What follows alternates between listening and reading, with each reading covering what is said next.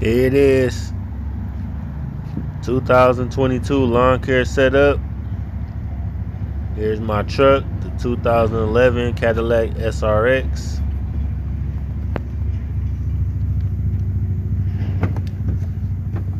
That's me just popping that trunk. I got some my flyers back there, my advertising. Got those back seats laid down, my toolbox, drills. I used to have a van, but the engine blew up on the van, so I had to do what I had to do.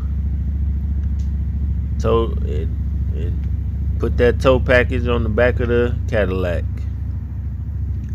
Is the 36 inch Exmark Vantage Series 3 Kawasaki engine. This thing is a tank. it's a tank. It can be used as a walk behind and it also can drop down that, that piece to the left right there and be a stand-on mower. Goes from five inches to one inch just by adjusting this pin right here.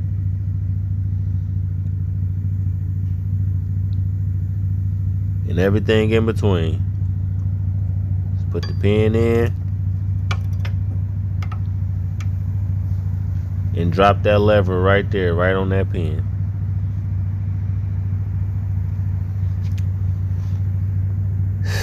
Can choke it. Um, you know, full throttle. I keep it in full throttle. Uh, maybe I can't really read that right there, but it look like it's over 200 miles or so.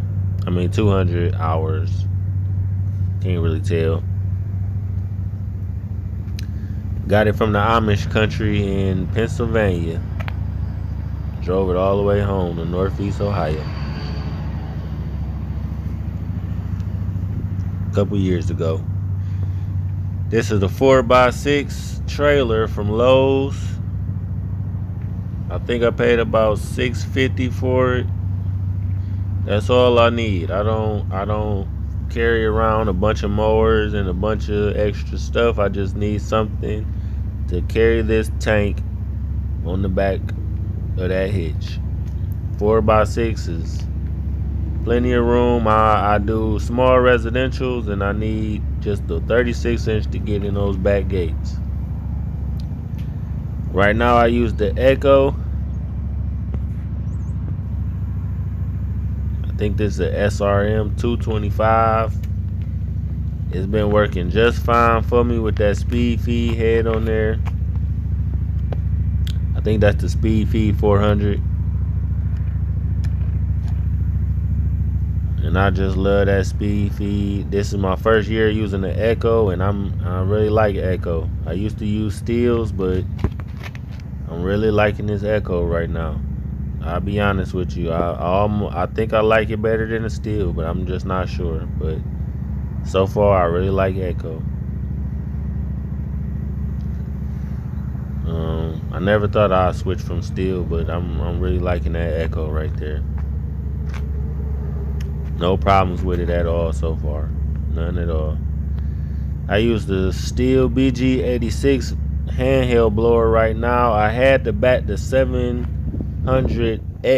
backpack blower, but it went out on me after years and years of good work. That backpack blower was a good one. It just it lasted years, but it finally went out. So I mean, I'm, I can not complain. But now I'm just using my backup handheld blower for now. I should be getting the 800 pretty soon though. I use this battery DeWalt uh, hedge trimmer. And the reason why I like this is because it's so light. It's so light. When you trimming a lot of bushes, man, I think this thing is, I think it's less than nine pounds or something. And I just slap, I got an extra battery. I just slap that battery on in there and then if I needed to get more done, I slap the extra battery in there and it always, I only need like two batteries. Right here, I got the IsoTunes um, ear protection. you gotta have ear protection doing this, especially if you doing it all the time just to prevent your ears from going bad. You know, it's a, these machines have high decibels on there, and you gotta protect your ears. And this IsoTunes Pro is perfect. I could connect my Bluetooth up to it and listen to music or listen to podcasts or even listen to lawn care um, videos right on my headset while I'm working. Okay, I'm getting ready to show you how, how I load up this stuff real quick. It's simple and easy.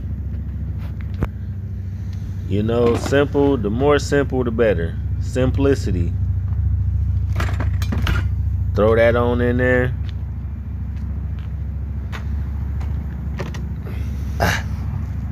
Throw the blower right next to it. Simple as that. Simple as that. The head trimmer goes right in, fit it on in there somewhere, just like that. No problem. And throw my ear protection right there in the toolbox. It literally takes that that excuse the how junky the the car is, but this is just me just getting busy, man. You know, sometimes I just get busy You know, I don't have time to straighten everything out and organize. This is the DeWalt, uh, this is the big one. That's the big one where I could take off my tires or anything with that and change blades and it fits that that same battery that was in the um the trimmer so yeah, I love that DeWalt thing. I could fix just about anything with that. Here, uh, um, this is this is where I. This is headquarters right here. This is my headquarters. I pay a hundred dollars a month for the ten by ten. I keep the mower in here and I keep the trailer in here. It fits. It fits both of them just fine.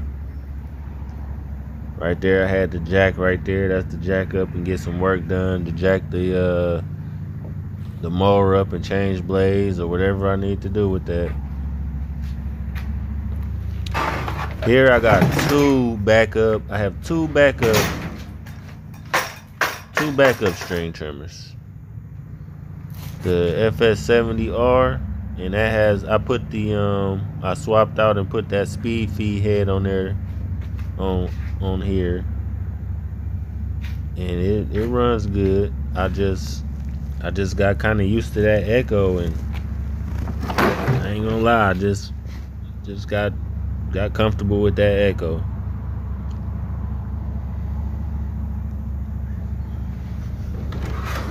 here's my other backup string trimmer another Stihl.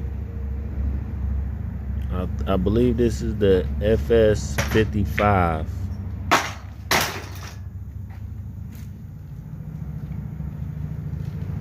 FS55. It's the older, it's the older one.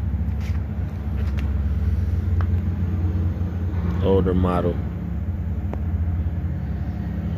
But uh if anything happens to that Echo, I'm still in business. Just grab one of these. But I'm really liking that Echo right now. So I had to put my Stihls up.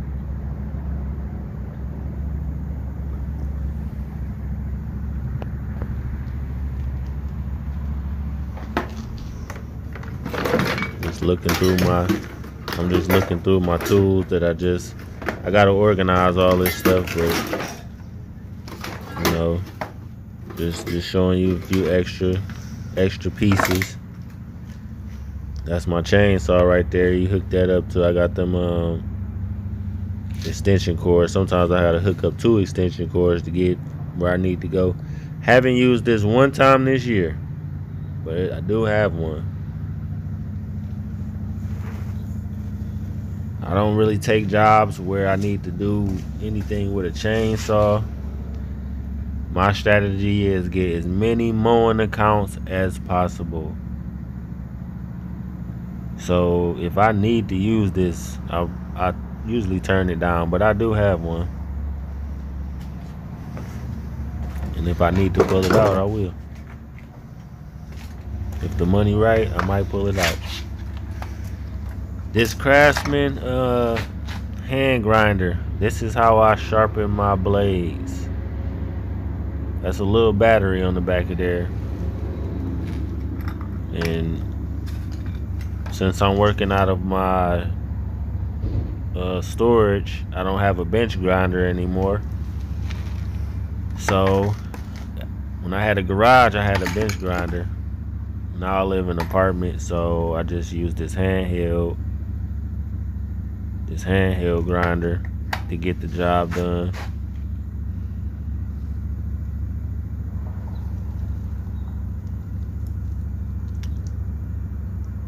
It ain't no thing but a chicken wing.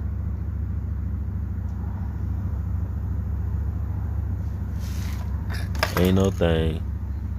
I'm probably getting ready to sharpen these blades up in the next day or so. And I'm gonna have a video on on me using this. So be watching out for that. This is my my gas can. They got these gas can heads right here at uh, Home Depot now. And ever they don't they you have to try really hard to break this. You have to try really hard to break that. And the reason why I say that is because I've been having these gas cans for years and those cheap gas can heads they just break. I mean, I have to go through so many of them. They break all the time. The little gasket in there breaks so fast.